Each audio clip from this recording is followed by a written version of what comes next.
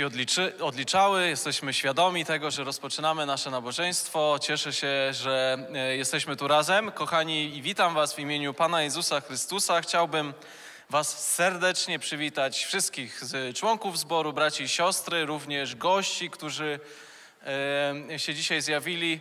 Muszę powiedzieć, że trochę czuję się jak gość po ostatniej obecności, więc się do tej grupy zaliczam. E, więc e, e, chciałbym serdecznie przywitać wszystkich, którzy, którzy się zgromadzają. Jeśli są jakieś osoby, od razu na sam początek chciałbym, abyście dali znać, skąd przyjechaliście.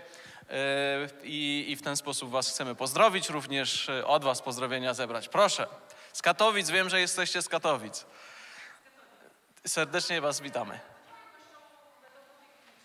Bardzo się cieszymy. E, przyjechaliście tutaj ze względu na Dejkę przede wszystkim. E, oczywiście on się w tym tygodniu zaczyna. Cieszymy się, że jesteście z nami. Ktoś jeszcze nas odwiedza dzisiaj?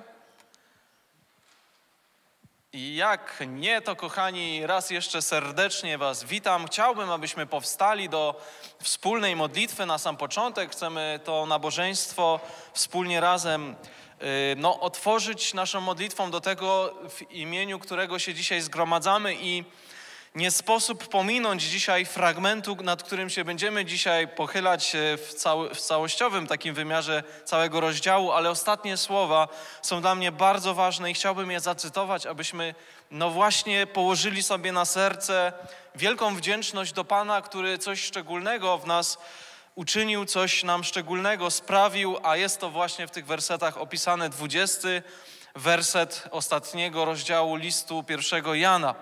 Wiemy też, że Syn Boga przyszedł i dał nam rozum, abyśmy poznali tego, który jest prawdziwy.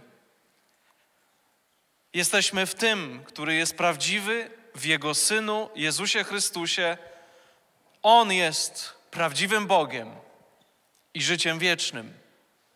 Tak wybrzmiewa, tak wybrzmiewa ostatni werset pierwszego listu Jana. Jeśli ktokolwiek ma wątpliwości, słuchający nas albo ktokolwiek, kim jest Jezus Chrystus, to te wersety, ten wiersz wyraźnie o tym mówi, z kim mamy do czynienia i przed kim stajemy dzisiaj, kiedy, kiedy no właśnie, podnosimy nasze myśli, wznosimy naszą modlitwę i będziemy za chwilę wspólnie razem śpiewać. Niech to nas przyszyje. On jest prawdziwym Bogiem i życiem wiecznym.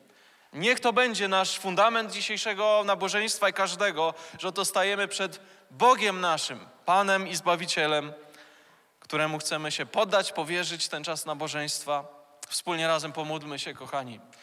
Boże, nasz Ojcze, dziękujemy Ci za Twoją obecność za to, że będziesz z nami, że jesteś z nami, nie opuszczasz nas, Panie, i ciągle przy nas, sto, przy nas stoisz, prowadzisz nas po ścieżkach naszych, po których chodzimy. Dziękuję Ci, że dzisiaj wspólnie razem możemy być na tym nabożeństwie.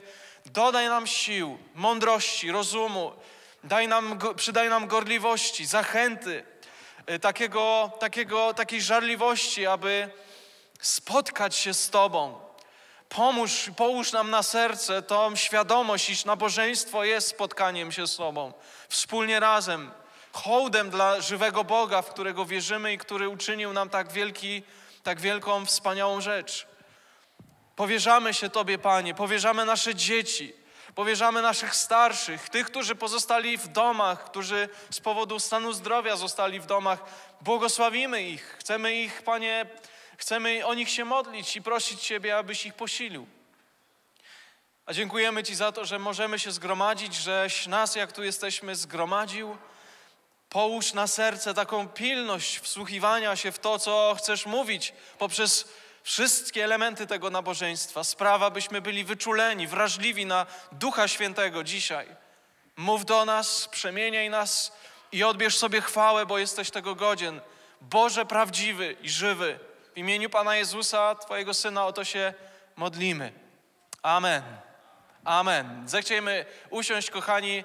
E, ja, jak e, zwykle na samym początku, chciałbym poprosić Gosię, która nas wprowadzi w e, informacje dotyczące następnych wydarzeń. Grupę poproszę o to, aby się już przygotowała do, do posługi. W ten sposób będziemy dalej kontynuować. Proszę bardzo. Witam wszystkich serdecznie. Tak, Właśnie chciałam zachęcić nas do wspólnych wydarzeń, spotkań, które mają miejsce tutaj, u nas w zborze, ale też w wielu innych miejscach, bo, y, bo takie dzisiaj ogłoszenie też będzie. Y, już zacznę od środowego spotkania naszego, podczas którego poprowadzi nas brat John Abramowicz w studium pierwszej Księgi Mojżeszowej. O godzinie 18.30 tutaj w kościele chcemy zebrać się, żeby studiować Boże Słowo. Także bardzo serdecznie zapraszam na ten wspólny czas popołudniowy w środę. I jeszcze y, ogłoszenie dotyczące naszego życia takiego zborowego właśnie 18 lutego po nabożeństwie. Będziemy mieć konferencję zboru, tak zwane członkowskie, y, gdzie będziemy chcieli zebrać się i właśnie jeszcze omówić y, sprawy dotyczące ubiegłego roku, ale też właśnie o, gdzieś tam mamy każda służba jakieś plany na przyszły, na ten rok, który się rozpoczął, żebyśmy mogli się zapoznać z tym i podsumować, podziękować sobie nawzajem. Także bardzo też y, zapraszam. To jest ogłoszenie do wszystkich członków zboru 18 po nabożeństwie w niedzielę. Y, rozpoczynamy czas daycampu, bo nasze dekoracje o tym świadczą. I właśnie chciałabym też e, w czasie daycampu będziemy mieć wieczór uwielbienia, e, który e, nazwany został Dom Pana wypełni śpiew. O godzinie 19 tutaj w czwartek właśnie chcemy wspólnie też zebrać się wstęp wolny, gdzie będziemy mogli uwielbiać razem z naszym zespołem, który nas poprowadzi y, w, śpiewie, w modlitwie, w wspólnym czasie takiego wieczoru. Także bardzo serdecznie zapraszam na ten wieczór w czwartek, to jest 8 lutego. I jeszcze y, chciałam ogłosić szczególnie dla młodzieży, ponieważ y, od 22 lutego do 24 lutego w Gdańsku jest y, konferencja ogólnopolska młodzieżowa. Jeżeli właśnie ktoś chciałby wybrać się na tą konferencję, jest wiele tam różnych punktów, które dotyczą życia po prostu młodzieży, życia naszego, y, dotyczącego właśnie naszej pobożności, bycia z Panem, ale też i wieczory, które y, będą prowadzone przez zespół nasz, uwielbienia, wieczory uwielbienia, modlitwy. Jest możliwość zapisania się i to szczególnie dla młodzieży właśnie jest y, y, skierowane, to ogłoszenie. Są jeszcze wolne miejsca, można wybrać się na taki dłuższy weekend nad morze do Gdańska. Także y, bardzo serdecznie zapraszam wszystkich, którzy właśnie może wysłuchują też tych ogłoszeń, y, ale właśnie jeżeli ktoś jeszcze z młodzieży ma wolny ten czas i chciałby uczestniczyć, jest taka możliwość. Trzeba się po prostu zapisać. Refresh Gdańsk, można to y, wygooglować, znaleźć i się zapisać. I mm, Teraz jeszcze na koniec, tak szczególnie chciałam właśnie e, podkreślić ten czas daycampu. Od jutra zaczynamy, od godziny dziewiątej startujemy, więc zapraszamy wszystkie dzieci, wolontariusze już e, wcześniej tu przychodzą, żeby zapoznać się ze swoimi obowiązkami. Także wolontariusze o 8 rano są tutaj, natomiast dzieci na godzinę dziewiątą zapraszamy bardzo serdecznie. I to jest taki szczególny czas i chciałam też prosić naszego pastora o to, żebyśmy mogli się pomodlić i powierzyć Panu ten tydzień. Powstańmy, kochani. Jest to wielkie przedsięwzięcie, już tyle lat jest prowadzone. Niech Pan Bóg ciągle i ciągle błogosławi. Spodziewamy się owoców, zarówno w dzieciach, jak i w rodzicach, którzy e, pozwalają dzieciom przyjść, więc e, pomodlimy się o to. Boże nasz i Ojcze, dziękujemy Ci przede wszystkim za to, że położyłeś na sercu tym, którzy angażują się w tą służbę, taką wierność, nieustała ta służba, to, to dzieło jest ciągle prowadzone przez tyle lat. Chcę Ci za to podziękować, Panie. Modlę się o to, abyś odprawił tą załogę ze swoim błogosławieństwem do tego działania, aby byli pełni entuzjazmu, żaru i Ducha Świętego e, w mądrości Twojej we wszystkich przedsięwzięciach związanych z Daycampem. Modlę się o rodziców, którzy pozwalają dzieciom przyjść, zarówno tych rodziców, którzy podzielają wiarę chrześcijańską, jak i tych, którzy nie podzielają wiary chrześcijańskiej, ale chcą, aby dzieci uczestniczyły w tym, w tym e, przedsięwzięciu. Wiesz, że tacy są również. Modlę się, abyś, Panie, wykorzystał to wielkie dzieło do tego, aby dotrzeć do tych rodziców poprzez dzieci, które są przecież tak bardzo chłonne i głodne Twojego słowa. Dziękujemy Ci za ten przywilej służyć, e, że możemy służyć dzieciom. Błogosław cały ten czas, dodaj sił, zachowaj od wszystkiego, co złe, bądź tylnią strażą podczas tego przedsięwzięcia i niech e, wielka, wielka chwała jest Tobie oddana poprzez to dzieło. W imieniu Pana Jezusa o to się modlimy wszyscy razem. Amen. Amen. I jeszcze chciałam podzielić się Słowem Bożym przed e, tym, jak będziemy teraz skupiać się na modlitwie, na uwielbieniu Pana przez pieśni, to e, z listu do Filipian kolejna modlitwa Pawła. W zeszłym tygodniu czytałam z listu do Koryntian. Dzisiaj e, właśnie chciałam przeczytać nas, zachęcić nas do modlitwy, do uwielbienia modlitwą Pawła o Filipian. I oto modlę się, aby miłość wasza coraz bardziej obfitowała w poznanie i wszelkie doznanie, abyście umieli odróżnić to, co słuszne, od tego, co niesłuszne, abyście byli czyści, bez nagany na dzień Chrystusowy, pełni owocu sprawiedliwości, przez Jezusa Chrystusa ku chwale i czci Boga. Amen. Kochani, powstańmy, to jest czas, aby wylać swoje serce przed Bogiem naszym w tych melodiach, w pieśniach, w śpiewie. Ja mam zamiar stanąć dzisiaj i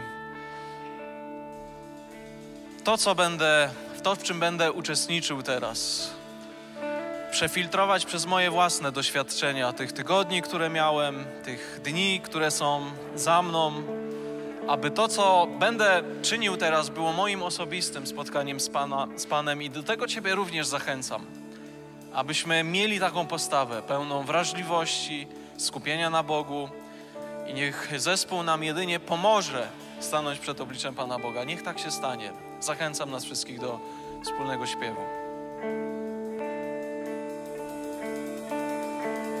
Skupmy teraz nasz wzrok na Panu. Nasze usta niech wyśpiewują Mu pieśni.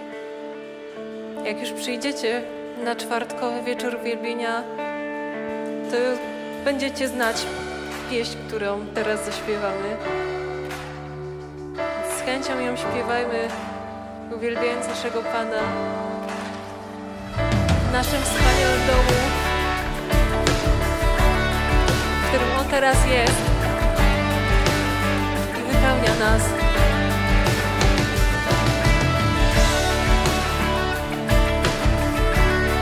Nasz wielki Bóg, który jest godzien wszelkiej chwały.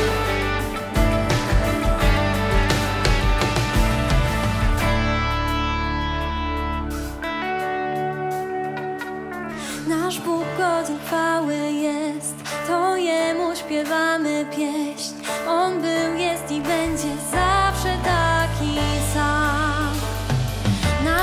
Bóg przeciął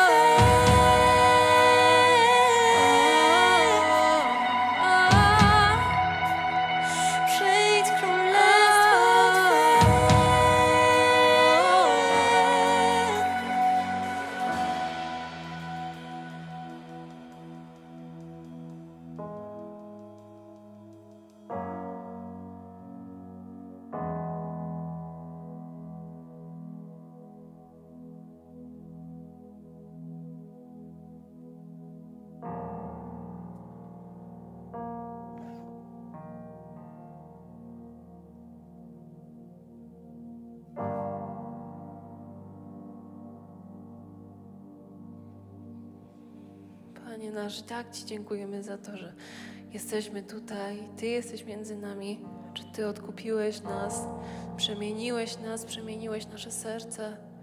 Tylko jesteśmy Ci wdzięczni za to, ile dla nas zrobiłeś, bo Ty poświęciłeś za nas swoje życie. Złożyłeś ofiarę, która naprawdę była cudowna i dalej jest dla nas cudowna. Powinniśmy pamiętać o tym wielkim czynie, który Pan dla nas zrobił, aby nas uwolnić od grzechu, bo to my byliśmy pod niewolą grzechu, ale On nas uwolnił. On zdjął kajdany, które trzymały nas. Teraz możemy ręce wznosić do Niego, wielbić Go, modlić się do Niego, dziękować Mu. Zanośmy teraz nasze modlitwy do Pana. Panie, jesteś wielkim i cudownym Bogiem. Panie, nie ma większego Boga niż Ty. Jesteś Stwórcą wszechrzeczy, Panie. Dzięki Ci, Ojcze, że nazwałeś nas swoimi dziećmi, że należymy do Ciebie, Panie. Tak jest. Jaka to jest radość, jaka to jest łaska, Ojcze, że wyrwałeś nas, Panie, z tej nędzy, z tego grzechu, z tego wszystkiego, Panie, co jest całkowitą ciemnością postawiłeś na skalę, którą jest Jezus Chrystus, nasz Pan, Bóg i Zbawiciel.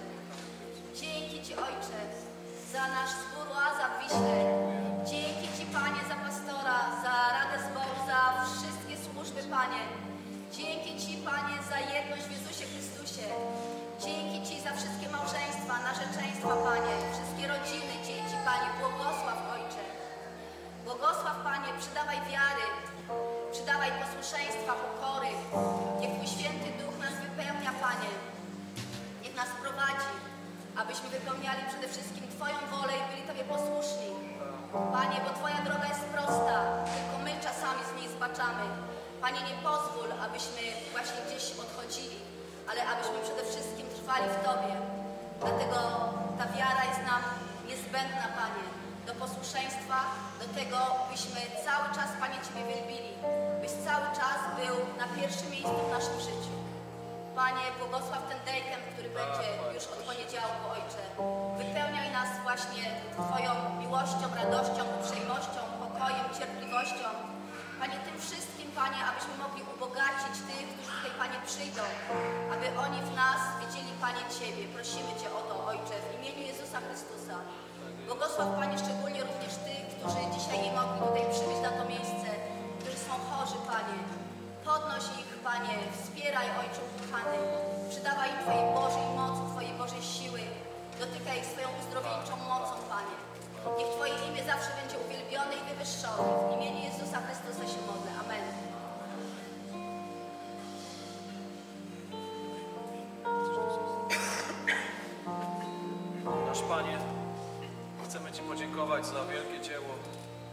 Zbawienia, które, które, które, które Ty wykonałeś. Panie, nie było w tym naszego udziału żadnego. Nikt z nas nawet o to nie prosił, nie myślał. Do żadnego umysłu to nie wstąpiło. Nikt tego nie słyszał o tym wcześniej, Panie, a Ty, kiedy byliśmy jeszcze grzesznikami, e, marłeś za nas, Panie Jezu. Dziękuję Ci za to. Ja na pewno o to nie prosiłem, na pewno nie szukałem. Każdy z nas zbłądził na własną drogę, każdy szedł w swoją stronę.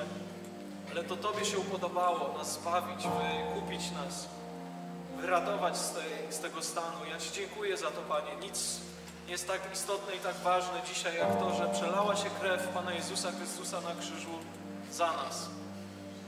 Błogosławimy Ciebie, Boże Wszechmogący, i dziękujemy Ci za to wielkie zbawienie. Amen.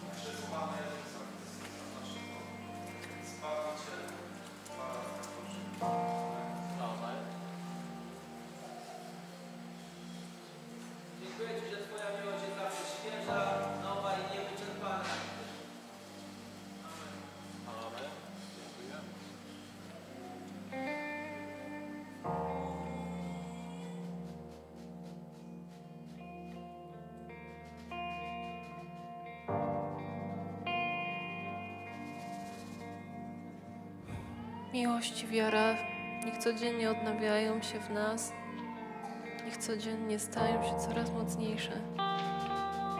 Przy, przy naszym Panu jesteśmy przejrzyści. On zna nas całych, zna nasze serce, zamiary naszego serca, zna grzechy, które są w nas,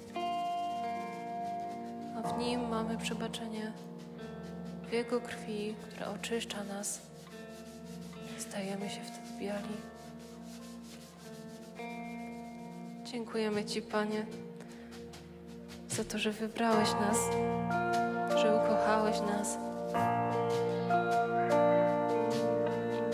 Panie, pragniemy Ciebie coraz więcej. Wypełniaj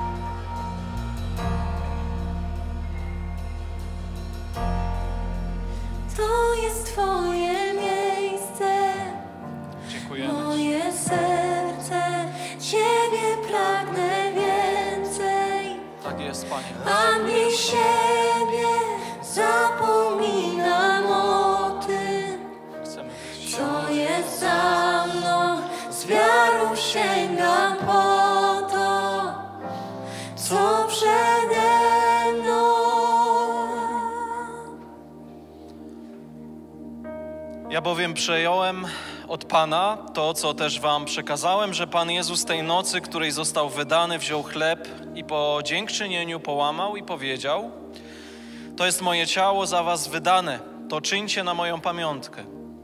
Podobnie po wieczerzy wziął także kielich, mówiąc: Ten kielich jest nowym przymierzem w mojej krwi. To czyńcie, ile razy będziecie pić na moją pamiątkę. Ile razy bowiem spożywacie ten chleb i pijecie kielich, śmierć Pana głosicie, aż przyjdzie. Dlatego też kto spożywa chleb i pije kielich Pana niegodnie dopuszcza się grzechu przeciw ciału i krwi Pana. Niech więc człowiek bada samego siebie i wtedy spożywa z tego chleba i pije z tego kielicha. Kto bowiem spożywa i pije, nie zważając na ciało, spożywa i pije własne potępienie. Dlatego to wśród was wielu jest słabych, chorych i liczni umierają. Jeśli natomiast sami siebie osądzimy, nie będziemy sądzeni. Jeśli zaś jesteśmy sądzeni przez Pana, jesteśmy karceni, abyśmy nie zostali potępieni wraz ze światem. Tak więc, moi bracia, gdy się schodzicie, aby spożywać wieczerze, czekajcie jedni na drugich. A jeżeli ktoś jest głodny, niech zje w domu, abyście się nie schodzili ku potępieniu.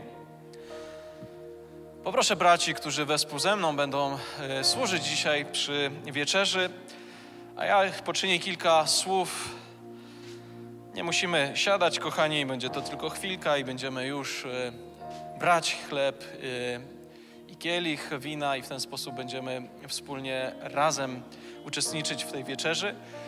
Drodzy, apostoł Paweł, kiedy pisze te słowa, pisze ku zachęcie.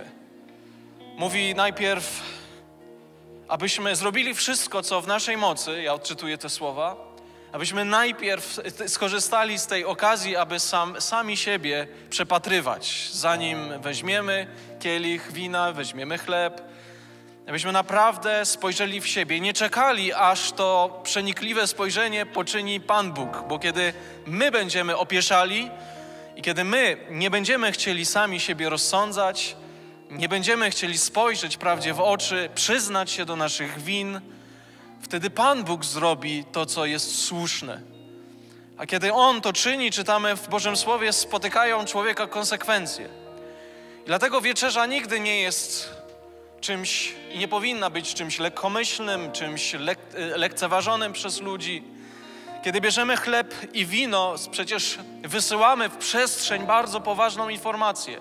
Śmierć pańską zwiastujemy. To jest na stałe powiązane z tym wielkim, doniosłym wydarzeniem, kiedy krew Pana Jezusa spływała tam jeszcze z krzyża, z Jego ciała, więc któż z nas by stał lekceważąco w tej chwili, kiedy Chrystus umierał na krzyżu?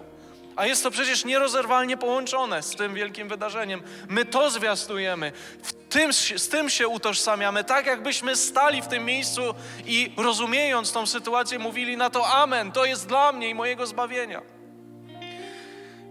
Wie, wiecie, Korynt się pomylił, Koryntianie się pomylili. Tak spowszedniała ta chwila ludziom, że przeinaczyli, zmienili, wykrzywili prawdę, doniosłą prawdę, która ukryta jest, może nie ukryta, ale osadzona i objawiona nam jest poprzez to, że przystępujemy do wieczerzy, biorąc chleb i wino. Mówiłem to nie raz. Koryntianie, a więc ci, którzy mieszkali w Koryncie i zgromadzali się wspólnie razem, zaczęli siebie nawzajem lekceważyć. Tworzyli sobie grupki, e, można by było powiedzieć wzajemnej adoracji. Jedni lubili się mniej, inni więcej. I tak sobie tworzyli w pewnych miejscach, tak Zapisy historyczne wskazują na to, iż jedni mieli pod dostatkiem, lekceważąc innych, którzy nie mieli. Zresztą apostoł Paweł wyraźnie mówił o tym. Jedni byli głodni, inni byli z kolei tak nasyceni winem, że aż pijani, więc no, jak się mogło coś wykrzywić, to się wykrzywiło. Co to za wieczerza? Dlatego apostoł Paweł mówi: Wy nie macie wieczerzy.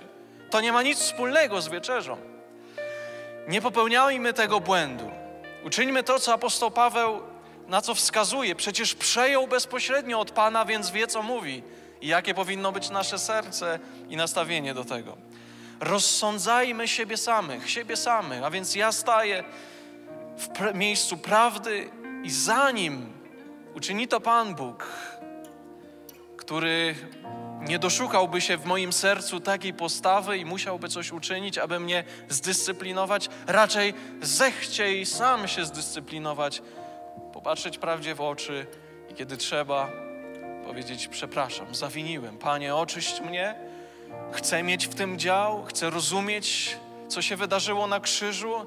Przecież moje grzechy tam były przybite do krzyża, jak żebym miał właśnie moich grzechów nie przynieść teraz przed Twoje oblicze i nie wspomnieć tego, że Panie, wybaczyłeś mi. Więc i masz moc dalej je odpuszczać i wybaczać, bo przecież jesteś wierny. Pierwszy list Jana mówi o tym wyraźnie. Kto wyzna swoje grzechy, kto je wyzna, kto je wyzna przed Panem, kto się do nich przyzna, wierny i sprawiedliwy jest Pan i odpuści nam nasze winy i oczyści z wszelkiej nieprawości. Także, kochani, miejmy taką chwilę zadumy przez chwilkę, oczyszczenia się przed Panem, cichej modlitwy tam, gdzie jesteś. Oto On jest pośród nas, doskonale Cię widzi. Tego nie widzisz, ale On patrzy prosto na Ciebie, prosto w Twoje oczy, prosto w Twoje serce. Doskonale wie, gdzie jesteś, w jakim miejscu, co się działo. Jestem pewien, że oczekuje od nas szczerości i wylania swojego serca przed Nim. Panie, oto stajemy wobec tych słów doniosłych i pragniemy najszczerzej, jak tylko potrafimy, Panie, godnie przystępować do tego wspaniałego momentu, który ma ożywić, odnowić w nas te głębokie refleksje o tym doniosłym wydarzeniu, o krzyżu, o śmierci baranka Bożego, którego posłałeś, swojego Syna Jezusa. Panie, to powinno wyciskać łzy, to powinno przeszywać nasze serce, to powinno sprawiać w nas głęboką w końcu radość też z tego, że uczyniłeś nas czystymi, zbawionymi. Ale powiedziałeś, abyśmy byli święci, jak Ty jesteś święty, abyśmy Cię oczyszczali, abyśmy prali swoje szaty w krwi baranka. I to chcemy dzisiaj uczynić. Panie, wybacz nam. Naprawdę wybacz nam, Panie, wszystkie nasze potknięcia, grzechy, upadki, to, co jest Tobie niemiłe. Wiesz, że życie na ziemi, doskonale o tym wiesz, Panie, znasz nas, wiesz, że jesteśmy prochem, jesteśmy słabi. To nas nie usprawiedliwia, ponieważ odpowiedzialni jesteśmy za nasze winy. Ale dzięki Ci za to, że postanowiłeś w którymś momencie nie wyciągać konsekwencji od nas, nie ciągnąć, nie ciągnąć nas do odpowiedzialności, ale przyciągnąć nas do usprawiedliwienia przez łaskę i miłosierdzie, poprzez wiarę. Dziękuję Ci za to, Panie. Dzisiaj w wierze stajemy, prosząc Cię o to, abyś oczyścił nas z naszych win i grzechów i pozwolił nam wyciągnąć dłonie w wierze po chleb i wino. Prosimy Cię o to, Panie. Jesteś dobry, jesteś kochany, jesteś cudowny za to, co uczyniłeś. I wielki w swoim miłosierdziu i łasce, ponieważ żyjemy, jesteśmy, stoimy na tym miejscu. Nikogo z nas nie pociągnąłeś do odpowiedzialności, do takiej dyscypliny, o której czytaliśmy przed chwilką, jak niektórzy w Koryncie zostali pociągnięci którzy już więcej chleba i wina nie mogli spożyć, pomarli w swoich grzechach. Dziękuję Ci, że my żyjemy, Panie. To znaczy, że wykonujesz w nas pracę i wzywasz nas do tego, abyśmy święcie i pobożnie żyli. Dziękuję Ci, Panie, błogosławimy siebie nawzajem i Tobie oddajemy cześć i chwałę. Będziemy chcieli błogosławić chleb i wino. E, więc teraz pomodlimy się e, o to, co jest przed nami i będziemy już z wielką zachętą sięgać po, po to, co mamy. Proszę, pomodlisz się o chleb. Dobrze?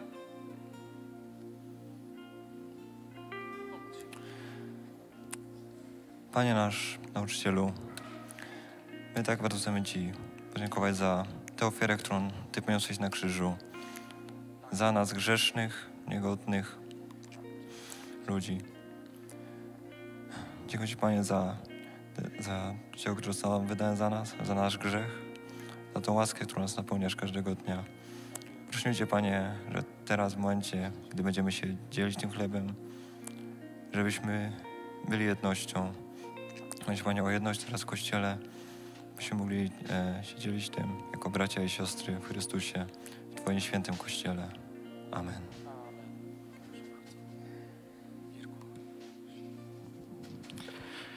Kochany Panie, dziękuję Ci za e, to dzieło, które dokonałeś na krzyżu. Dziękuję Ci, Panie, za Twoją świętą krew przelaną za nas, za Twoje dzieło, którego jesteśmy uczestnikami i na które nie zasłużyliśmy sobie w żaden sposób, Panie. Dzięki Twojej łasce tylko Tobie zastępujemy tego dzieła, Panie. I proszę Cię, abyś pobłogosławił to wino, które właśnie symbolizuje Twoją świętą krew przelaną na krzyżu, Panie, za nas e, wierzących w to dzieło, które tam się dokonało, Panie. I proszę Cię, abyś ty poprzez właśnie to spożywanie e, tego wina jako symbola Twojej krwi, e, abyś wlewał w nasze serca taką świadomość znaczenia tego e, dzieła, a przede wszystkim mocy Twojej krwi w naszym życiu. Amen.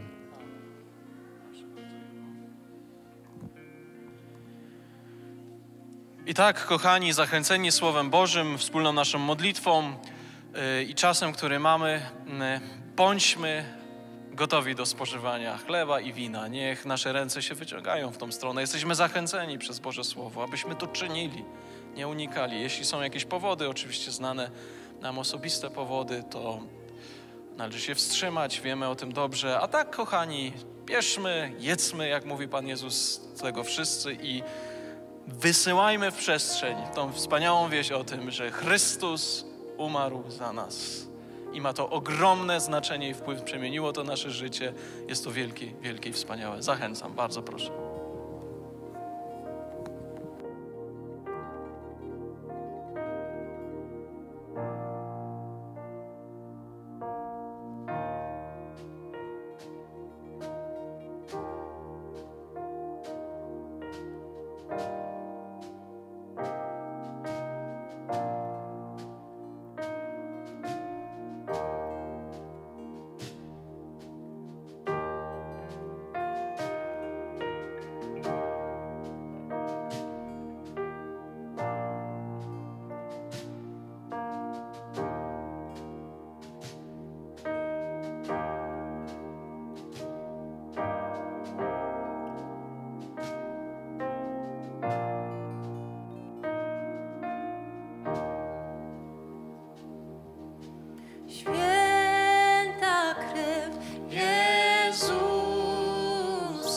Śpiewajmy razem, kochani. Święta krew Jezusa.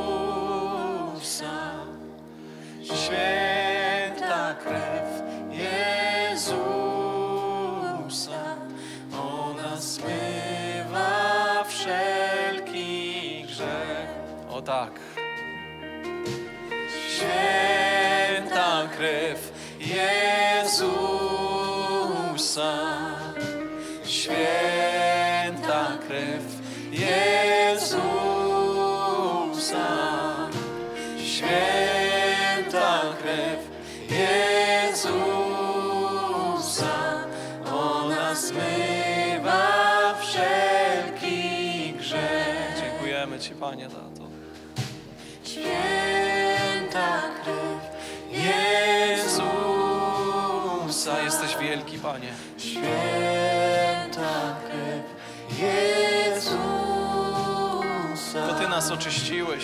Święta krew Jezusa. Tak drogo zapłaciłeś.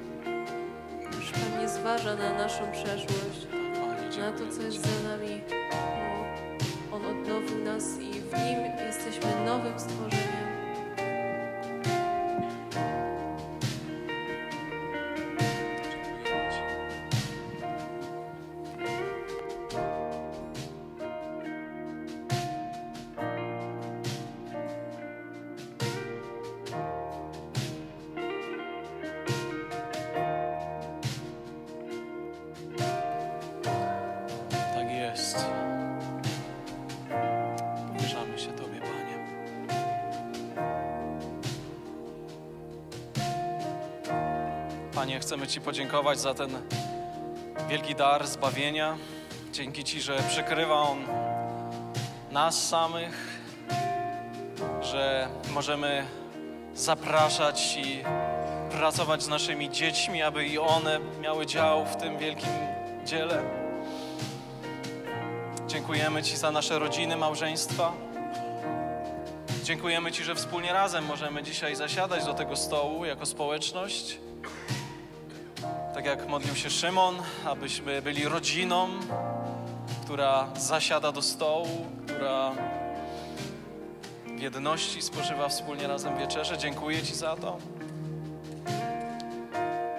Za ten wielki symbol przełamanego chleba, złamanego chleba, który rozdajemy między siebie. Dziękuję Ci,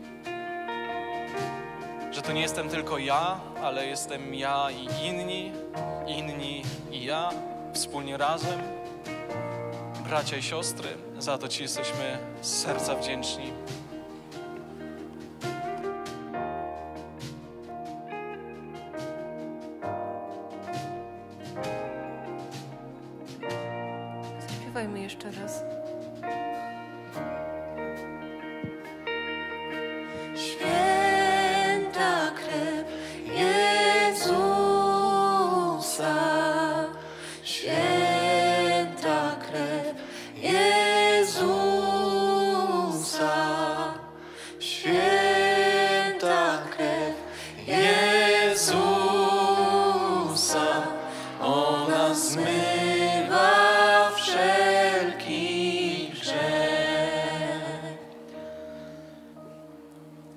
Apostoł Paweł mówi: Pamiętajcie jedni o drugich. Nie bylibyśmy kompletni, gdybyśmy zapomnieli o grupie muzycznej, która nam służy, aby też e, e, przystąpiła do wieczerzy. E, Dlatego to jest ich czas teraz.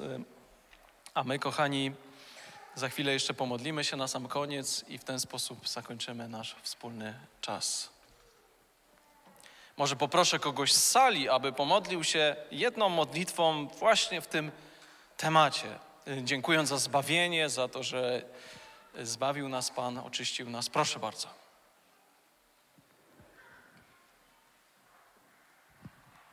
Głośno i wyraźnie, bo nie słychać, kochani. Proszę bardzo.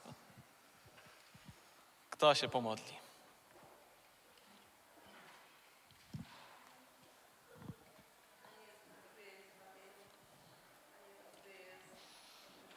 Tak, Panie.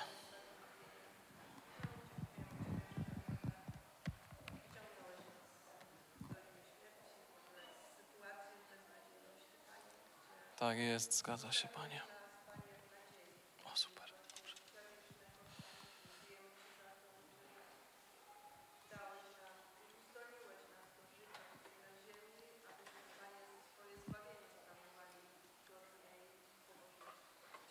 Tak, Panie.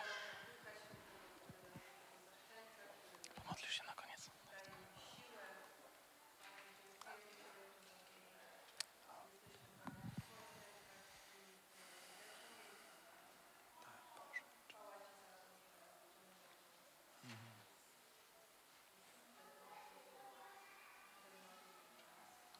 Amen. O tak kochany Panie, Panie Boże nasz Ojcze Niebieski, przychodzimy do Ciebie przez naszego Pana i Zbawiciela, Twego Syna Jezusa Chrystusa, którego krew za nas została przelana. Panie, chcemy, aby, aby ta krew, aby to złamane ciało dla nas mogło być błogosławieństwem dla naszych domów, naszych rodzin, naszych dzieci. Panie, chcemy błogosławić siebie nawzajem, nasze rodziny, nasze dzieci też, jak teraz będziemy e, słuchać Twojego słowa, jak dzieci będą słuchać Twojego słowa. Panie, pragniemy otwierać nasze umysły, nasze serca na, na głos Twojego ducha. Mów do nas, Panie. Dziękujemy Ci za ten czas wieczerzy, Panie, że możemy wspólnie przystępować do niej, Panie. Ty nie masz względu na osobę, Panie. Jesteśmy różnymi osobami z różnymi doświadczeniami, ale w Tobie jesteśmy jedno. W Tobie jesteśmy bratem, siostrą. Możemy być jedną rodziną. Dziękujemy Ci za to, Boże, za to, co czynisz wśród nas. Niech Tobie płynie za to chwała i cześć i dziękczynienie. Amen.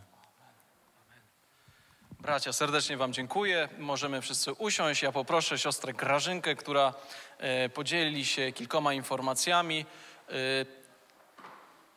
czy Ty masz dzisiaj zajęcia z dziećmi?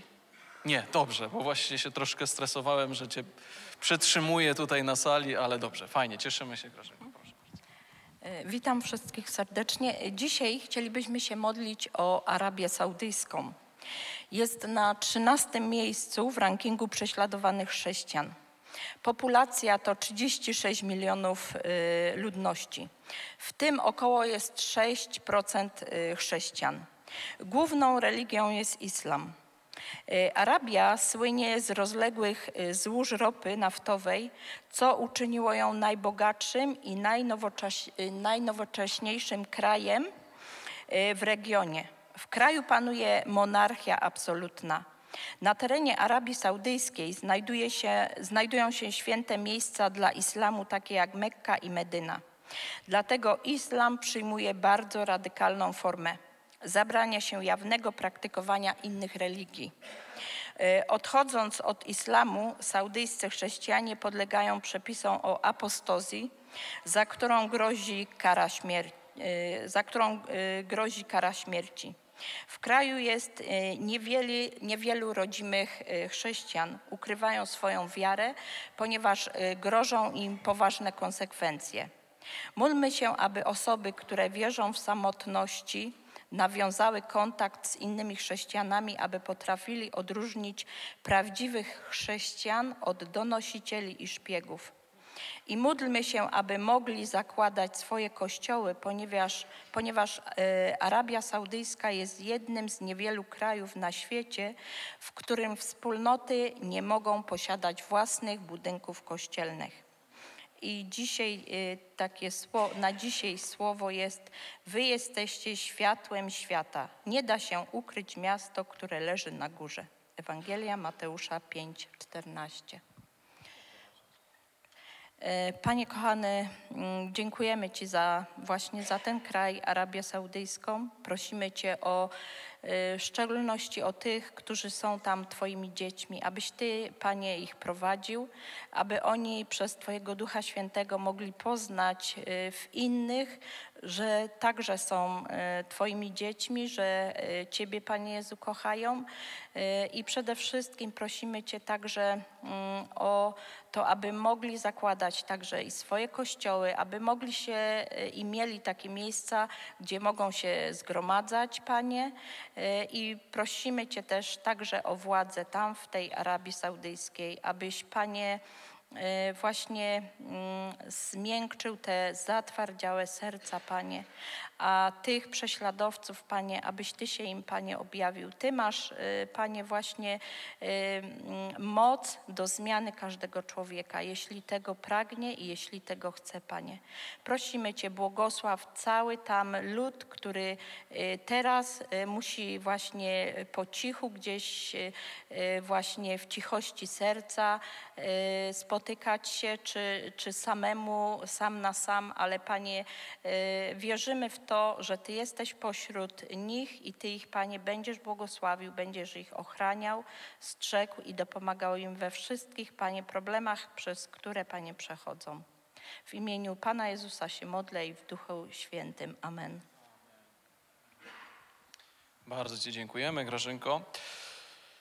Drodzy, dzieci nasze już wyszły na zajęcia. Ja chciałbym Was wszystkich zaprosić już do tekstu Bożego Słowa. Zanim jednak go przeczytam, jeszcze dwie ważne informacje. Pamiętajmy o tym, że jesteśmy y, ciągle w y, naszym 40-dniowym poście. Ten tydzień, w który właśnie wchodzimy, to są już ostatnie jego dni. Y, bardzo dziękuję z tego miejsca wszystkim, którzy się włączyli w post 40-dniowy, który, którzy wzięli jakieś dni na swoje barki, aby wołać do Pana zgodnie z tym, jak sobie kładliśmy na serce.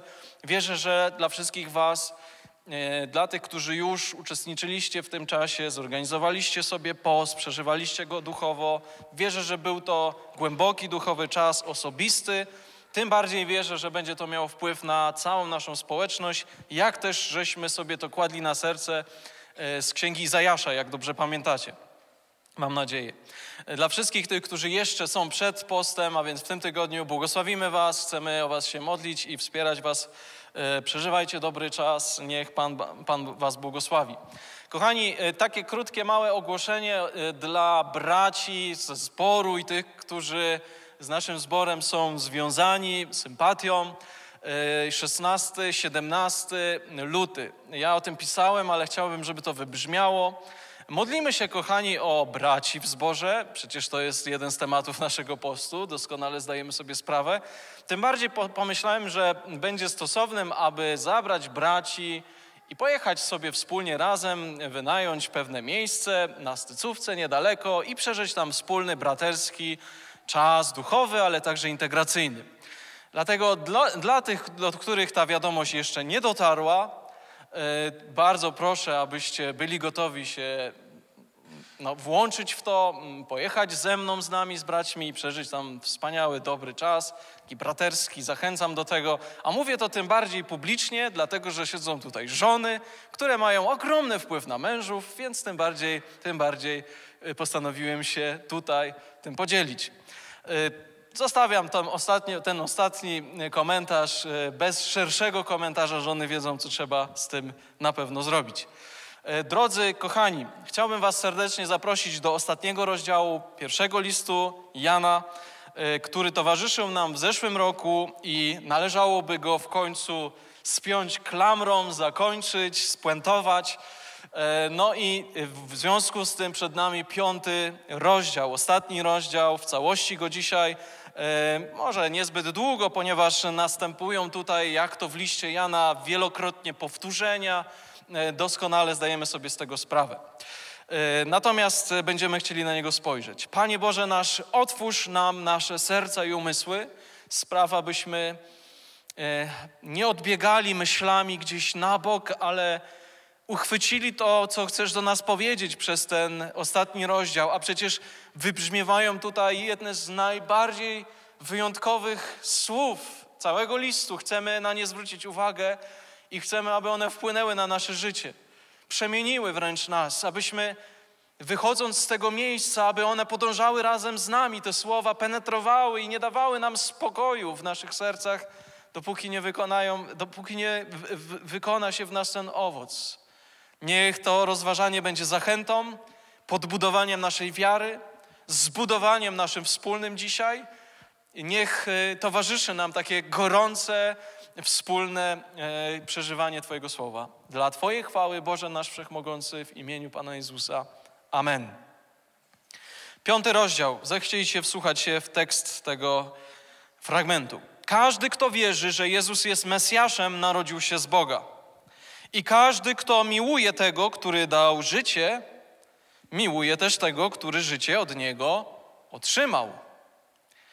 Nie są to dla nas nowe słowa, bo pierwszy list Jana w wielu miejscach ciągle i ciągle przypomina nam ten bardzo ważny, bardzo ważną zasadę Bożego Królestwa, że kto mówi, że kocha Pana Boga, musi jednocześnie miłować brata lub siostrę, brata i siostrę, to brata i siostrę, chciałem powiedzieć, a więc tych, którzy są i należą do Pana Boga.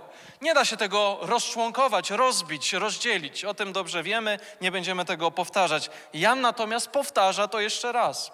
Dlaczego powtarza to jeszcze raz? Dlatego, że najprawdopodobniej pierwszy list Jana jest pewnym zbiorem refleksji i nauczań Jana. Nie był to prawdopodobnie spisany list tak po prostu, że Jan napisał ten list w ten sposób, jak się pisze listy, jak apostoł Paweł. Natomiast jest to pewne skomasowanie pewnych refleksji i nawet i swego rodzaju nauczania. Dlatego pojawiają się tu powtórzenia, które raz po raz docierają do naszych uszu. Ale czytajmy dalej. Po tym poznajemy, że miłujemy dzieci Boże, gdy miłujemy Boga i wypełniamy Jego przykazania. Mamy tutaj, że tak powiem, zależność odwrotną. Miłujemy Boga, miłujemy dzieci Boże. Jeśli miłujemy dzieci Boże, miłujemy również Pana Boga. Po tym poznajemy, że miłujemy dzieci Boże, gdy miłujemy Boga i wypełniamy Jego przykazania. Miłość względem Boga polega bowiem na przestrzeganiu Jego przykazań, a przykazania Jego nie są ciężkie. Będziemy to chcieli wyjaśnić. To wszystko, co zostało z Boga zrodzone, zwycięża świat, a tym zwycięstwem, które zwyciężyło świat, jest nasza wiara. Kto zwycięża świat, jeśli nie ten, kto wierzy, że Jezus jest synem Boga? Jezus Chrystus jest tym, który przyszedł przez wodę i krew, nie tylko w wodzie, ale w wodzie i we krwi. I duch daje świadectwo, bo duch jest prawdą. Troje daje więc świadectwo: duch, woda i krew. I tych troje stanowi jedno. Jeżeli przyjmujemy świadectwo ludzi, to tym bardziej powinniśmy przyjąć świadectwo Boga, które jest ważniejsze, bo jest świadectwem Boga, który zaświadczył o swoim synu. Ten, kto wierzy w Syna Bożego, ma w sobie świadectwo Boga. Ten zaś, kto nie wierzy Bogu, czyni go kłamcą, bo nie uwierzył świadectwu, jakie Bóg dał o swoim synu. A świadectwo to jest następujące: Bóg dał nam życie wieczne, a życie to jest w Jego synu. Ten, kto ma syna, ma życie, a kto nie ma syna Bożego, nie ma życia. To wam, którzy wierzycie w imię Syna Bożego, napisałem, abyście wiedzieli, że macie życie wieczne. Ufność zaś, którą w nim pokładamy, polega na przeświadczeniu, że wysłuchuje nas, jeśli o coś prosimy zgodnie z Jego wolą. A jeśli wiemy, że wysłuchuje wszystkich naszych próśb, to jesteśmy też pewni, że mamy już to, o co Go prosiliśmy. Jeżeli ktoś zboczy, jeśli ktoś zobaczy, że jego brat popełnia grzech, który nie prowadzi do śmierci, niech się modli, a Bóg da mu życie tym, który grzech nie prowadzi do śmierci. Jest jednak taki grzech, który prowadzi do śmierci. W takim przypadku nie polecam, aby się modlono. Wszelka nieprawość jest grzechem, lecz jest też grzech, który nie prowadzi do śmierci. Wiemy, że każdy, kto się narodził z Boga, nie grzeszy, ale strzeże go narodzony z Boga, a zły nie może go tknąć.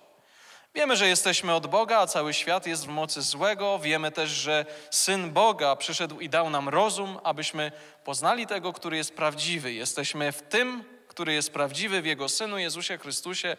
On jest prawdziwym Bogiem i życiem wiecznym. No i Jan, nie rozwijając jakoś bardzo szczególnie ostatniego zdania, wtrąca na sam koniec, aby nikt nie miał żadnych wątpliwości. Dzieci, strzeżcie się bożków.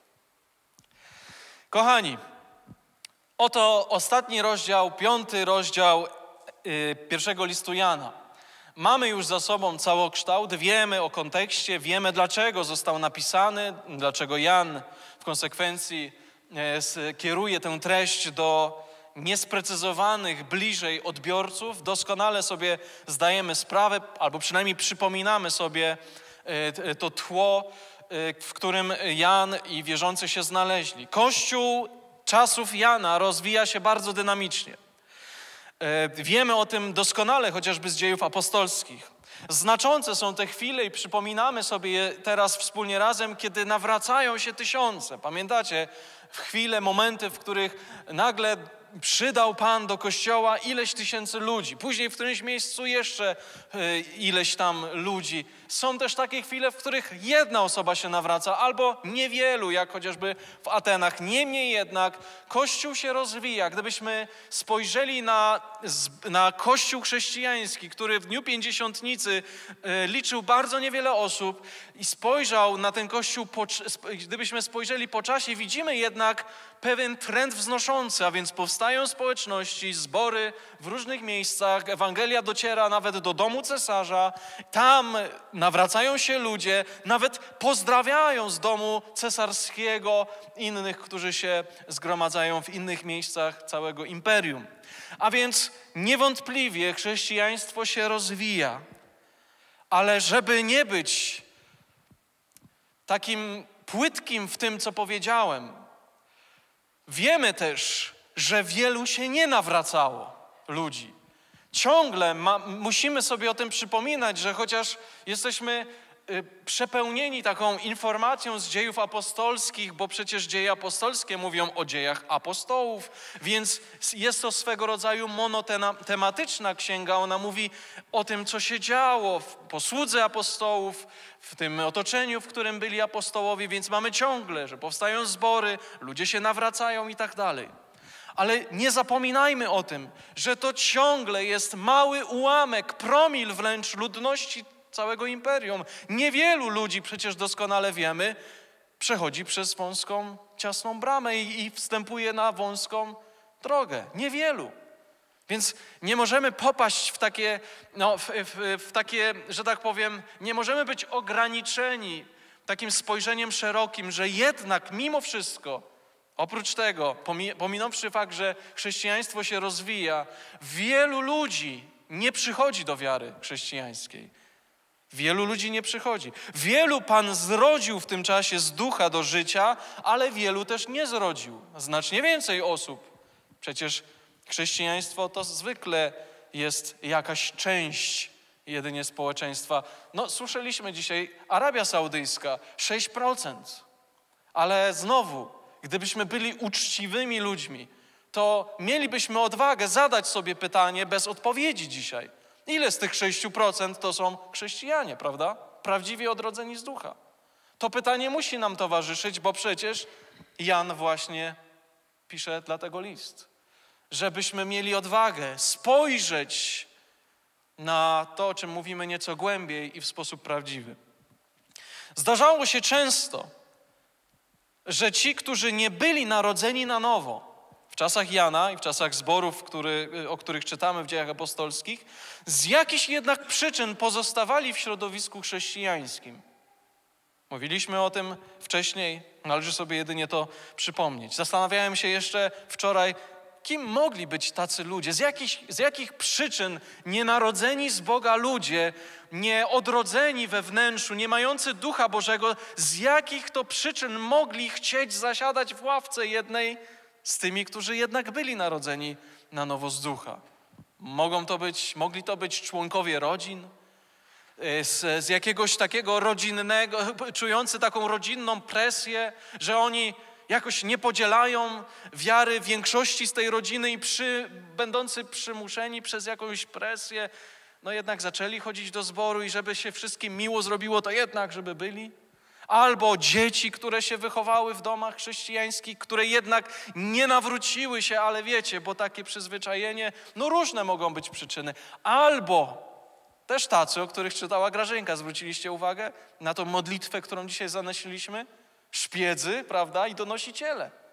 Wyraźnie to dzisiaj wybrzmiało, usłyszałem to. Szpiedzy i donosiciele. Iluż takich ludzi było w cesarstwie, w, cesarskim, w imperium mm, rzymskim, w cesarstwie rzymskim, którzy wślizgiwali się gdzieś pod drzwiami, aby tylko zobaczyć, jak to tajne spotkanie wygląda i kto na nim jest, aby później donieść za jakąś zapłatą. Kto, gdzie, jak i tak dalej.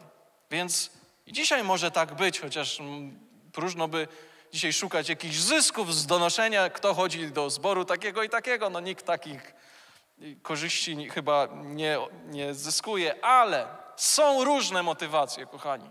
I trzeba o nich powiedzieć. Dzisiaj trzeba by było powiedzieć może o innych rzeczach o pewnym samopoczuciu może, może ktoś się dobrze czuje w społeczności chrześcijańskiej, może podoba mu się to lub to lub tamto, może po prostu jest to jakieś miłe miejsce, w którym coś miłego usłyszy i czuje się jakiś kochany, akceptowany i tak dalej, ale może w tym samym czasie nie być narodzony na nowo. Nie przeszedł przez pokutę, nigdy nie uświadomił sobie, że jest grzesznikiem większym niż jego sąsiad nawet. Do tego momentu jeszcze ciągle może myśli o tym, że jeśli on i sąsiad spotkają się przed Panem Bogiem, to sąsiad będzie miał większe problemy niż on. Więc o tym właśnie mówimy dzisiaj.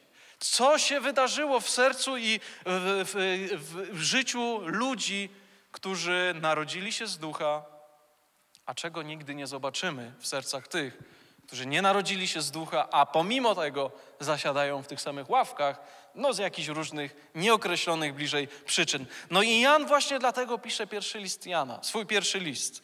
Bo takie rzeczy zaczęły mieć miejsce w pierwszym kościele. Jakieś pomieszanie, jakiś, wiecie, yy, no, taka niejednolitość w, w zborach, w kościołach. Różne z tego tytułu również problemy. Niektórzy deklarowali swoją wiarę w Jezusa ust, tak werbalnie, słowami, jednak coś poważnie nie było w ich życiu tak, jak powinno było być.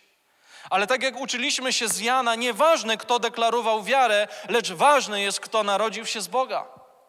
Tego uczyliśmy się z Ewangelii Jana. A jesteśmy w tym szczęśliwym miejscu, kochani. I to chcę raz jeszcze przypomnieć nam. Na szczęście nie mamy, mówiąc o narodzeniu z Boga, z ducha. Na szczęście nie mamy do czynienia z przyjęciem jakichś poglądów jedynie. Na szczęście nie mamy do czynienia z jakąś zgodą na jakieś ogólne wartości chrześcijańskie. Na szczęście mamy, kochani, z, do czynienia z żywym Bogiem, który swoim słowem ukształtował cały wszechświat i dlatego nie mamy żadnych wątpliwości, że kiedy ten Bóg wszechmogący zradza człowieka do życia, to jest to widoczne jest to namacalne, coś jest dostrzegalne, są tego ślady, są tego owoce. Zupełnie tak samo jak wychodzę ze zboru dzisiaj, pewnie wyjdę, spojrzę na otaczający mnie świat i nie mam wątpliwości, że ten świat żyje. Coś lata gdzieś nad moją głową, jakieś zwierzęta przechodzą, coś czuć w powietrzu. Ja mam, jestem przekonany o tym, że to wszystko żyje. I tak samo, kiedy Bóg zradza człowieka do życia, to znaczy, że w nim się pojawia życie. Coś się dzieje, jakieś procesy są i owoce tych procesów wewnętrznych, duchowych widoczne. O tym mówimy cały czas. Nie można o tym zapomnieć. Chrześcijaństwo to nie jest przyjęcie poglądu jakiegoś albo wartości, zgoda na coś po prostu. Jest to przemienione życie, transformacja, która wydaje owoce. I tych owoców się doszukiwaliśmy, szliśmy za Janem, aby, aby je zrozumieć, wydobyć z tego listu i przekonać swoje serca. E, a więc list ten był i jest fundamentem do zrozumienia, czym jest prawdziwa wiara i jak przejawia się ona w człowieku narodzonym z Boga. Mówiliśmy już o wielu różnych przejawach, owocach. Dzisiaj o ostatnich, które się tutaj pojawią, raz jeszcze będziemy mówić. Po pierwsze, kochani, kiedy patrzymy na pierwszą część tego piątego rozdziału, zauważymy coś bardzo szczególnego. W zasadzie w, tym, w tej pierwszej części podzieliłbym ją od pierwszego wiersza aż po piąty. Spójrzmy do tekstów. Na pewno zauważyliście y, to powtórzenie, które Jan znowu przywołuje w tym liście, a więc przypomina nam o bardzo ważnej zależności nie ma takiej możliwości. Po prostu nie ma, nie istnieje w Bożym, w Bożym duchowym świecie, że ktoś narodzony z Boga na nowo ma w nienawiści tego, który jest narodzony na nowo z Boga. Nie ma. Mogą być pewne tarcia, tąpnięcia w relacjach, różne chwile, które towarzyszą nam w życiu ale nigdy nie może się to przerodzić, przejawić i tak pozostać na wieki wieków na zawsze, że człowiek ma w nienawiści drugą osobę, która również mówi, że jest dzieckiem Bożym. Dlaczego? Znowu nie dlatego, że ten człowiek będzie się starał nigdy nie mieć nikogo w nienawiści, ale dlatego, że autorem tego nowonarodzenia jest Bóg, który włożył Ducha Świętego do naszego wnętrza i uruchomił pewne martwe do tej pory procesy. A jednym z tych procesów, które było martwe do tej pory, które pozwalało nam nienawidzić, jest miłość, która się nagle uruchomiła w nas poprzez Ducha Świętego. Czyż właśnie poprzez Ducha nie jest w nas rozlana miłość Boża? Czytamy to, czy nie? Pamiętamy? No właśnie. Więc to jest właśnie to, o czym mówimy. I teraz Jan przypomina tę zależność. Jeśli ktoś miłuje Boga, jest narodzony na nowo, będzie też miłował brata swego, siostrę. Oczywiście ogólnie mówiąc. Znowu powiem szczególnie, żebyśmy byli tego świadomi. Są różne wydarzenia, różne rzeczy się dzieją. W konsekwencji wiemy z lektury całego Bożego Słowa, żebyśmy, czytamy, żebyśmy się znosili w miłości, prawda? Są pewne chwile, które każą nam nieco bardziej się spiąć, wytężyć siły i no, zmobilizować do jakiejś akceptacji, tolerancji. Ale znowu powiem, nigdy nie może przerodzić się to w nienawiść, bo byłoby to świadectwem tego, że człowiek nie narodził się na nowo.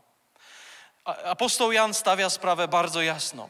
Niemniej jednak to, że kochamy Pana Boga, widzimy to w drugim wersecie, czytamy o tym, że po tym poznajemy, że miłujemy dzieci Boże, gdy miłujemy Boga, to jest absolutnie e, ta zależność w drugą stronę, ale ostatecznie przejawia się to tym, że Boże Słowo, przykazania, Jego wola, zauważacie to w tekście, jest przez nas wypełniana, przestrzegana, że szanujemy Bożą wolę, Boże Słowo, a więc Bożą wolę wyrażoną poprzez Jego Słowo, przykazania, Jego zamysły, Jego nakazy wobec ludzi. Szanujemy, chcemy, biegniemy w tą stronę, aby sięgać, aby zdobywać, aby pochwycić to, czego Bóg chce od nas. Naszym marzeniem jest, aby się Bogu podobać. To się dzieje w narodzonym na nowo człowieku. Jest to bardzo istotne. Kto narodził się z Boga, miłuje tych, którzy, których Bóg zrodził, o tym czy, czytaliśmy, i przekonujemy się o tym poprzez, poprzez to, że człowiek jednak ma pragnienia skierowane w stronę spełniania woli, woli Bożej, Jego zamysłów. I to, kochani, jest bardzo ważne. Chcę powiedzieć o tym, kochani, że pierwszy list Jana, zaraz wrócę do moich poprzednich myśli, ale wiem, że to, co chcę powiedzieć teraz, jest bardzo ważne dla Ciebie i dla mnie w kontekście całego listu. List Jana nie został napisany po to, aby jeszcze bardziej poczynić jakieś zamieszanie w sercu z y, powątpiewających do tej pory chrześcijan, którzy wskutek okoliczności, błędnych, fałszywych nauk, gnostycyzmu, który wdzierał się do zborów i kościołów i mieli z tego powodu różne wątpliwości. Jan nie napisał tego listu, aby jeszcze im przydać ciężaru i żeby ci, którzy powątpiewają, jeszcze bardziej zwątpili. Jan napisał list, trzynasty werset tego, tegoż rozdziału, spójrzcie na chwilkę, przeskoczmy, to jest bardzo ważne. To wam, którzy wierzycie w imię Syna Bożego, napisałem, aby co? Powiedzmy głośno, abyście wiedzieli, że macie życie wieczne. A więc celem Jana, celem, który mu przy, przypisywał, motywacją było, aby tych, którzy powątpiewają, którzy mają wątpliwości, zbudować, zachęcić, wzmocnić, przekonać, aby nie mieli wątpliwości. Dlatego, pisząc ten list, przywołuje szereg różnych owoców i niejako zaprasza Ciebie i, i zadaje Ci pytanie: hej, widzisz te owoce w swoim życiu?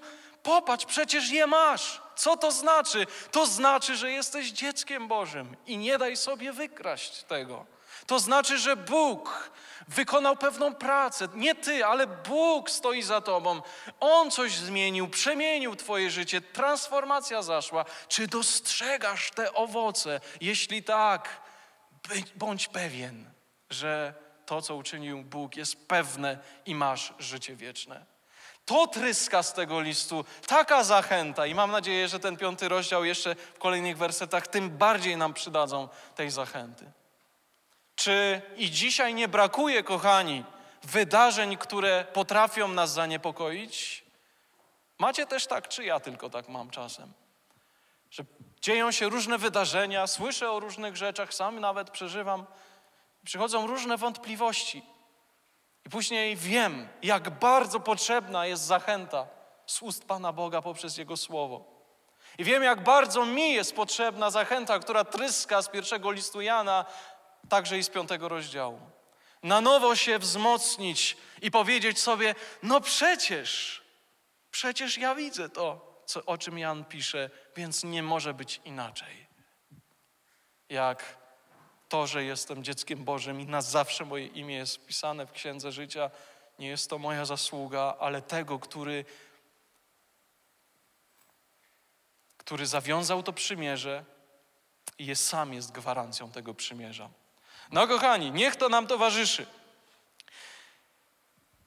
Czytamy, że przekonujemy się o tym, że człowiek ma pragnienia wypełniania przykazań. Drugi werset. Y, Dostrzegamy, że, że ci, którzy miłują Pana Boga, wypełniają przykazania. Zadaj sobie więc pytanie, czy to, co mówi Pan Bóg, czy to, co przykazał, czy Słowo Boże, kiedy wybrzmiewa Słowo Boże, czy to jest coś, co absolutnie lekceważysz, a co tam będę słuchał? Czy raczej dotyka Ciebie to, uważasz to za ważne, istotne? Czy to ma dla Ciebie znaczenie i czy nawet w chwilach bezsilności jednak jest jakaś siła w Tobie, która każe Ci pochwycić to, biec do tego, masz marzenia, marzysz o tym, że chciałbyś taki być? Pełen posłuszeństwa? Jest tak czy nie? Zadajmy sobie to wewnętrzne pytanie, bo Jan nas do tego zmusza. Zadaj sobie to pytanie. Jeśli tak jest, znowu, pomimo wielu różnych słabości, a jednak dostrzegasz, że jest w tobie ta siła, która chce tego, co Boże, chce tego, co Bóg o czym mówi, to znaczy, że jest to owoc Ducha Świętego w tobie. To jest to namacalny dowód tego, że Duch Boży został włożony w Twoje wnętrze, a wcześniej tego nie było. Pamiętasz, jak było wcześniej? Było tak czy nie? Kiedy chodziłeś po bezdrożach tego świata, brałeś garściami świat i piłeś z tego świata wszyscy, cały ten kielich porządliwości tego świata, czy cały czas przechodziło przez Twoje myśli to, aby podobać się w tym samym czasie Bogu? Chyba nie, prawda? No to się dopiero pojawiło, gdy nagle Duch Boży zamieszkał w nas. Nagle jakieś martwe ruiny zostały odbudowane. Coś się zmieniło. Dlatego zwykłem mówić, człowiek, którego Bóg rodzi na nowo do życia, zaczyna kochać rzeczy, których nienawidził wcześniej, a z drugiej strony zaczyna nienawidzić rzeczy, które wcześniej miłował. Macie takie doświadczenia? Znowu zadajmy sobie pytanie, jest tak? Czy nie masz czegoś takiego, że wstydzisz się tego, co było kiedyś? A przecież w tym samym czasie kiedyś się tego nie wstydziłeś? Byłeś gotów się nawet chwalić przed środowiskiem, jak to ci się udało tam ukantować i tak dalej, a teraz wstyd, no po prostu, prawda? Czujesz to w swoim wnętrzu. Dlaczego? Bo Duch Boży jest w tobie i coś takiego wykonuje, czego, co ci na myśl nigdy by nie przyszło, gdyby nie On. A więc po tym się przekonujemy. Sprawia nam to radość. Cieszy nas, gdy żyjemy zgodnie z przykazaniami. Nie są one więc dla nas ciężarem. Jest ciężarem jest dla nas życie niezgodne z przykazaniami, czyż nie? Macie takie wrażenie? Zobaczcie, czytamy, że przykazania nie są ciężarem. I znowu z pewnością nie chodzi o to, że mocujemy się nieraz ze swoim ciałem, bo się mocujemy. Apostoł Paweł doskonale wiedział o tej bitwie. Mówił, robię to, czego nie chcę, prawda? Biorą, si- biorą górę czasem moje porządliwości i tak dalej. Czytamy o tych bojach, które toczył sam ze sobą. Wiemy, że tak jest, ale z drugiej strony wiemy, że myśl o przykazaniach, przykazania są dla nas miłe. Nie mówię o, wiecie, szeregu różnych ustaw, ale przykazania w sensie woli Bożej wobec człowieka, zamysłów, czego Bóg oczekuje od nas. To, są dla, to jest miła rzecz dla nas. Chociaż nie, nie, niejednokrotnie się z tym siłujemy, to jednak jest to miła. Marzymy, aby być w tym miejscu. Tak jak psalmista w tym jednym, w największym psalmie e, e, pisze, słodyczą są dla mnie przykazania Twoje. Dniem i nocą je rozważam. Wiem, że nieraz nie dojdę do tych przykazań, do, do, do, do pełni, do wypełnienia tych przykazań, ale jednak jest we mnie coś, co sprawia, że jest to miłe dla mnie.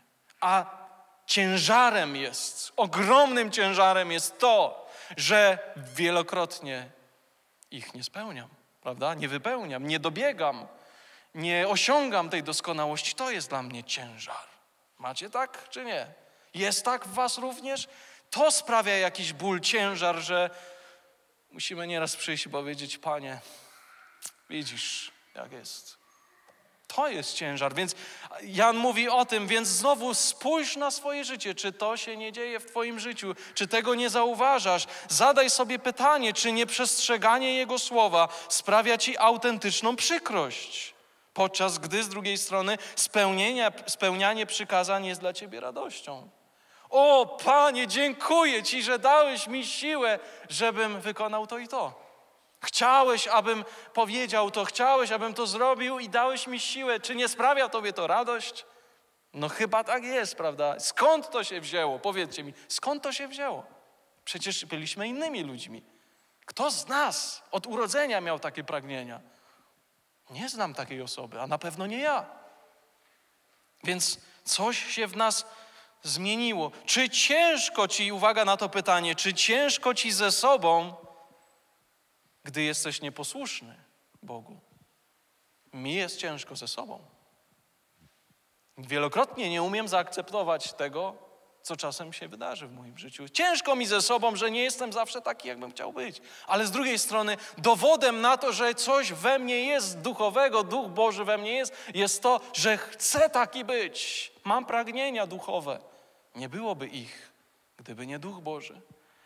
I właśnie Jan po to pisze, abyśmy te owocki zobaczyli, soczyste owoce i kiedy je zobaczymy, abyśmy na, napełnili się tym zbudowaniem, bo przez to, że posmakujemy tych owoców, które mówią w pełen sposób o tym, że jesteśmy dziećmi Bożymi, ze słabościami, ale jednak dziećmi Bożymi, którzy mają zbawienie. Dlatego Jan pisze ten właśnie list. Czy gdy myślisz o Słowie Bożym, o oczekiwaniach Pana, pomyśl o tym.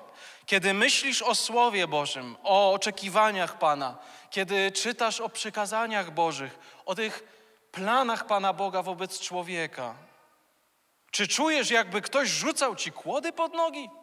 Zadaj sobie takie pytanie. Ja znam takich ludzi, którzy takie mają wrażenie. A wy chrześcijanie to jesteście zniewoleni wszystkimi tymi przykazaniami. Tego nie wolno, tego nie wolno, tego nie wolno. Co wy możecie? Prawda? Słyszeliście to kiedyś? Ale ja tak nie myślę. I w ogóle nie mam takich myśli, jakby ktoś z batem stał nad moimi plecami i tylko, wiecie, mówił, czego nie wolno, i jak tylko coś się stanie, to chcz po plecach. Nie ma czegoś takiego. Nie mam wrażenia, jakby Bóg rzucał mi kłody pod nogi, kochani. Macie takie wrażenie? Że jakby nas związywał. Znowu zadaję sobie głębsze pytanie. No to dlaczego ja nie mam takiego wrażenia, a ten człowiek ma? To znaczy, że jestem jakiś mądrzejszy? Bardziej rozwinięty intelektualnie, bo nie mam takiego wrażenia, on ma? A może jest tu coś innego? Może Bóg żywy, władca wszechświata, który stworzył cały wszechświat, zamieszkał w moim wnętrzu i sprawił, że patrzę na to wszystko Jego oczyma, a nie moimi własnymi. Może dlatego. A może w tym nieszczęśniku obok nie zamieszkał Pan Bóg jeszcze. Nie przemienił go, nie ożywił jego martwego ciała i biedak męczy się ze swoim spojrzeniem na cały świat. I męczy go to wszystko i ma wrażenie, że oprócz tego, co na tym świecie go spotyka, to jeszcze Pan Bóg mu kłody pod nogi podrzuca. To, to jest ta różnica, kochani, musimy to, na to spojrzeć w ten sposób. Czy Słowo Boże i Jego oczekiwania to dla Ciebie niemiły obowiązek? Macie takie wrażenie? Ja nie mam. Tak, nieraz mi nie wyjdzie, ale nie mam wrażenia, że to jest niemiły obowiązek. Jest to coś, co chciałbym pochwycić, uchwycić, biec w tą stronę. Marzę o tym.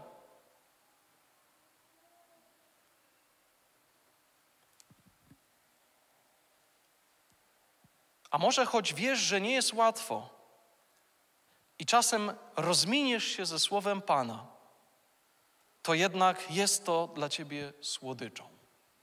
Ja mam wrażenie, że ten opis by bardziej, bardziej zgadzałby się z tym, o czym, o czym dzisiaj mówimy. Tęsknisz do tego, aby Bogu się podobać, marzysz o sobie w innym, lepszym miejscu. Znowu, kiedy jeszcze wczoraj o tym myślałem, to postanowiłem zadać Wam jeszcze jedno pytanie, aby, wiecie, dobić tą taką myśl ważną, która płynie z tego słowa. Czy niebo pociąga Ciebie także dlatego, że już więcej nie zawiedziesz swojego Pana tam? Macie tak? Pomimo wszystkiego tego piękna w niebie, które nas spotka, tam u Pana w Jego obecności, czy nie pociąga Ciebie też ta myśl, że już więcej Go nie zawiedziesz? Że już grzechu tam nie będzie? Że już nie poleją się łzy smutku, bo znowu się nie udało? Macie tak? To znaczy, że jest to dowód na coś, kochani. Nie jest to jakaś błyskotliwa myśl człowieka, który odkrył coś, podczas gdy inni nie. Jest to owoc Ducha Bożego, który prowadzi nas do świętości, do uświęcenia. On chce, abyśmy tam biegli i my za tym idziemy, smakuje nam to, chcemy tego. Marzę o tej chwili, kiedy grzechu już nie będzie. Marzę o tej chwili. Masz też tak? Czy jest to w tobie? Jan dzisiaj poprzez ten list zadaje to pytanie, bo jest to absolutna różnica pomiędzy tymi, którzy są narodzeni z ducha, a którzy narodzeni z ducha nie są. Którzy dali się wciągnąć w gnostycyzm, zostali wciągnięci w gnostycyzm, pamiętacie? Nie ma grzechu, rób co chcesz, prawda? Nic tam się Panu Bogu, nie ma, nie ma takich spraw, które by się mogły Panu Bogu nie podobać y, i tak dalej, i tak dalej. Takiego rodzaju nauczanie było, nie mów o grzechu, w ogóle nie trzeba się tym zastanawiać. Bóg nas powołał do świadomości, do wiedzy, do gnozy, ale grzechy, nie myśl o tym, rób tak jak chcesz i żyj tak dalej, bylebyś tylko był duchowy. To był gnostycyzm. A z drugiej strony masz ludzi, którzy wiedzą o swoich słabościach, ale nigdy nie wykradniesz z ich wnętrza tego, że chcą podobać się Panu Bogu. To jest trochę jak ten dobry przykład z ojcem i małym synem, malutkim. Kiedy jeden z kaznodziejów używał tego przykładu i pozwolę sobie go, kochani, na koniec, wiem, że poruszyłem tylko jedną część. To znaczy, że tak miało być, Pan Bóg tak chciał, czyli będziemy kontynuować nasz list Jana jeszcze któregoś razu, ale zostawię w Waszych sercach jeden obraz. I teraz zadaj sobie pytanie na koniec, czy tak jest również w Twoim życiu? Pewien ojciec, myślę, że niektórzy z Was utożsamią się z tym, bo macie gospodarkę, wiecie jak to jest. Wychodził wcześniej rano, jeszcze przed świtem, zakładał filcoki, prawda? Jeszcze śniegu było pełno i zabierał synka ze sobą. Mówi: Chodź, idziemy tam, trzeba wykonać pewną pracę ze zwierzętami. I ojciec zakładał te swoje filcoki i przez śnieg idzie swoim krokiem ojcowskim, prawda, dorosłym krokiem w stronę obory, czy jeszcze jakiejś innych, innej infrastruktury, już to nazwę tak technicznie, bo nie umiem gwary tak jak wy. Ale synek mały patrzy na swojego ojca, zakłada swoje małe filcoki i przez ten śnieg próbuje w te ślady ojcowskie. I nieraz nie trafi, prawda? No bo jak można trafić w takie kroki, mając zaledwie taki mały, mały zasięg, prawda? Ale nikt, patrząc na tego małego chłopca, nie odmówi mu i nie zaprzeczy, że ten mały, ten mały chłopiec chce być jak tata. I to jest to, kochani, co musimy w ten taki zobrazowany sposób wyciągnąć z tego listu i przyjąć do naszych serc. Nie zawsze trafimy w ślady. Nie zawsze. Ale jest w nas jakaś siła, coś jest, co jest zupełnie jakby zewnętrznego, coś, co przyszło do nas z góry, z nieba, co sprawia, że pomimo tego, że wiem, że czasem nie trafię, to ja chcę i będę próbował iść w tą stronę. I to jest pierwsza część piątego rozdziału listu Jana. Zapraszam zespół, który na koniec usłuży pieśnią. Ja jeszcze w kilku słowach spróbuję przynajmniej powiedzieć o tym, co będziemy mówić następnym razem. Mam nadzieję, drodzy bracia i siostry, słuchający dzisiaj tego rozważania, z którego wyłuskaliśmy jakby główną myśl, która powinna przeszyć nasze serca i być dokładnie tym, co Jan zamyślał, aby było dla tych biednych i często powątpiewających chrześcijan, którzy targani byli różnymi, wiecie, nau różnym nauczaniem, emocjami, różnego rodzaju okolicznościami. Jan pisze, abyś ty, drogie dziecko Boże, zobaczył te wiszące owoce na tym drzewie, którym jesteś, zauważył je. Starałem się dzisiaj z każdej strony z wielu różnych stron starałem się jakby skłonić nas i zadać może inne pytania, które nam to uświadomią. Ale to główne pytanie jest, czy zauważasz to? Czy zauważasz ten, to te pragnienia duchowe, ten, to, te motywacje, te cele, to, że tli się w tobie jakaś siła, która chce tego. Masz marzenia w tą stronę skierowane. Jeśli tak jest, to przyjmij słowa zachęty. Bądź pełen wiary. Ufaj Panu Bogu. Y, zbuduj swoje, swoje dziękczynienie. Y, no, niech Cię to poruszy. Niech sprawi, że to jest dla Ciebie słodycz dzisiaj. Panie, dziękuję Ci za to, że upewniasz mnie o tym, że jestem Twój. Że jestem Twój. Powstańmy, kochani. Na koniec naszego nabożeństwa chcemy podziękować Panu Bogu za to, czegośmy doświadczali, za to rozważanie. Mam nadzieję, liczę na to, modliłem się o to, ufam, że w naszych wnętrzach dzisiaj po tym nabożeństwie, pośród świata pełnego niepokoju, wątpliwości, które targają naszymi sercami, my będziemy mieć absolutną, niezachwianą pewność w Jezusie Chrystusie, w łasce, którą Bóg nam dał i że będziemy widzieć owoce a poprzez to, że widzimy te owoce, widzimy to pragnienie, widzimy, że nasze życie się przemieniło, że jest to coś innego niż to, kiedy człowiek przyjmuje taką ideę, czy taką wartość, czy taki, taki pomysł na życie. Nie, to jest coś innego, to jest coś znacznie większego.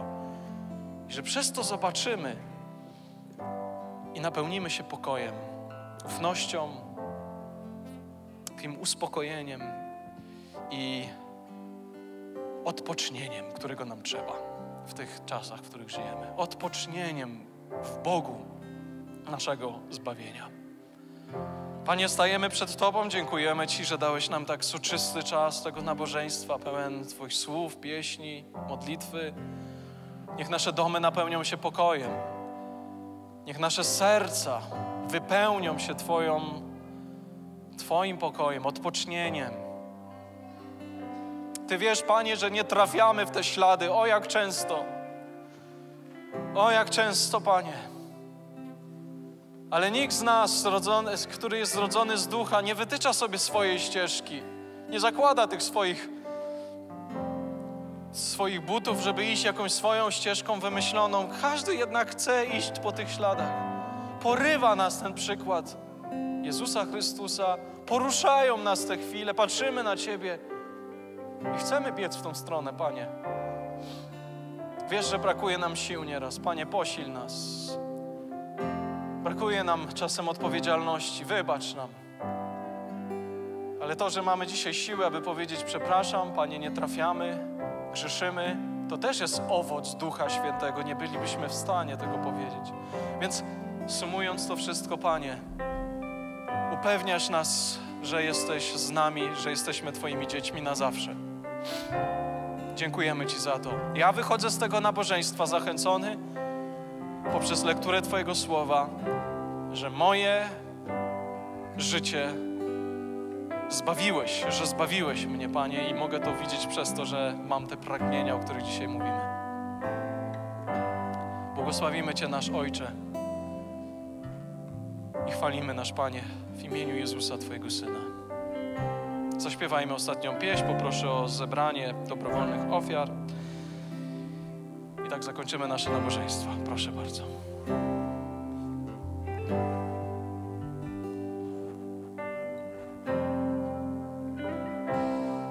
Chwalimy Cię, Panie. Źródło naszego życia i zachęty. Nasze odpocznienie i nasza nadzieja.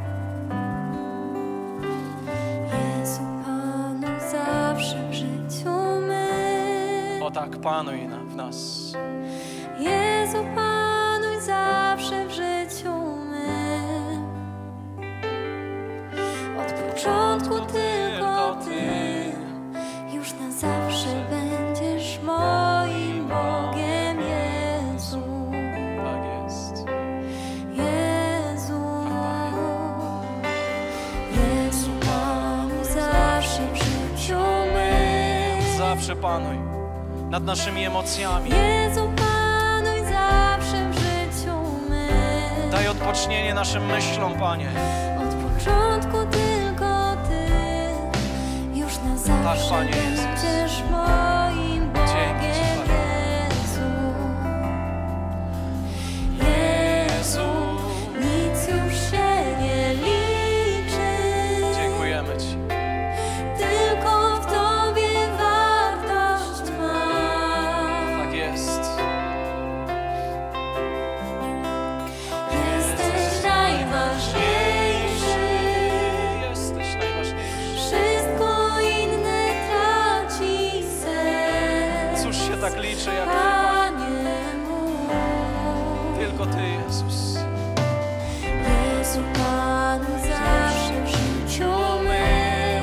Tak, Panuj.